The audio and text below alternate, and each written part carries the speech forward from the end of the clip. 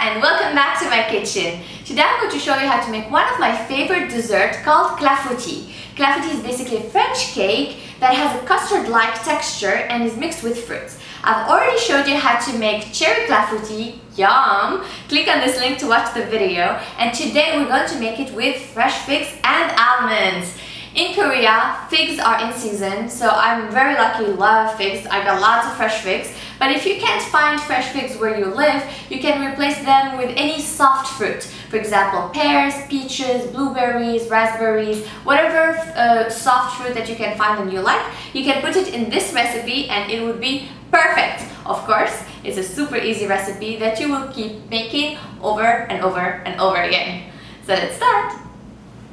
The first step is to mix the eggs with the sugar. So break your eggs and put them in a large bowl. The sugar and beat them for a minute. Add the vanilla extract, mix it in.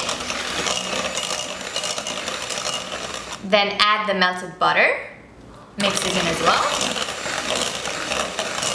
Sift the flour and add it to the egg mixture. And finally, add almond powder. Almond powder is my secret ingredient in this recipe because it makes the clafoutis very soft. If you don't have it, just add flour instead. But it's very easy to make. You can just take raw almonds, you know, put them in boiling water, remove their skin, dry them, and then uh, mix them in a food processor. Or you can even mix raw almonds with their skin. And that's it. We add it and then using a spatula just mix in all the ingredients. Once the flour is mixed in, we're going to add the milk. As you can see, our mixture is really smooth. It's like a crepe mixture um, because that's what's going to give this very soft and pudding-like texture to our clafoutis. So this is perfect. For the figs, I'm just going to quarter them. So these are my fresh figs. Take the tip, because you know it's hard, and then just cut them in half and then quarters, like this. Nothing fancy, no need to have knife skills, simple fruit cut. Also, don't forget to add a pinch of salt at the end. As I always say, a little bit of salt really brings up the sweetness of our cakes, so it's important. And that's it, we're ready. This was a really, really easy recipe. So here I'm using cazuelas, which are basically uh, clay plates because I think it's earthy and beautiful and it gives an individual portion. However, you could use like a cake pan, whatever you want. Just take a little bit of butter and butter your cazuelas, like that. You can also use uh, creme brulee uh, plates. They're, they look like the cazuelas. Place couple of pieces of the figs in the cazuelas. Well, more than a couple. You really want to have lots of figs in there. Gently pour some of the mixture around and on top of the figs.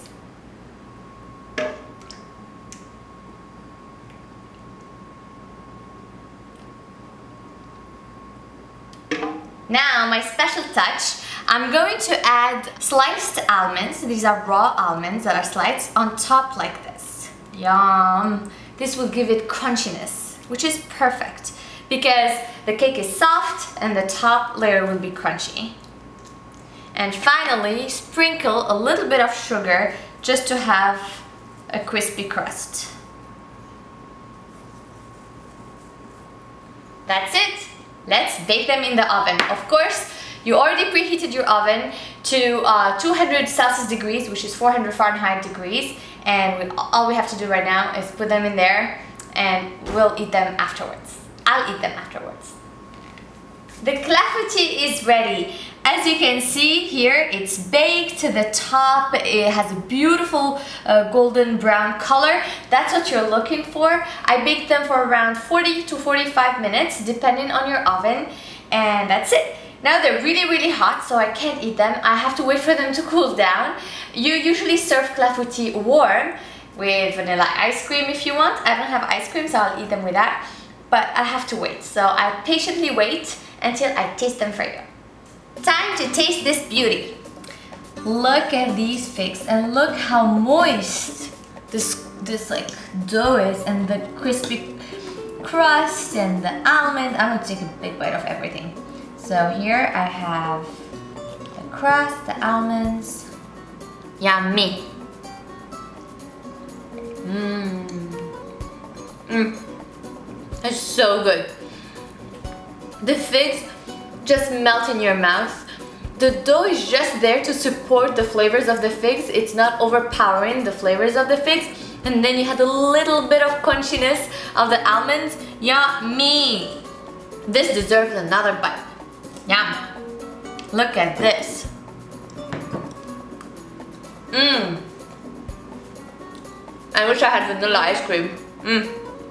This would have been perfect. Wow, I can eat this in like 3 seconds. Anyway, I hope you liked it. Try it out and let me know. All the ingredients and the written recipe are in the about section below the video. And see you next time. Bon appetit!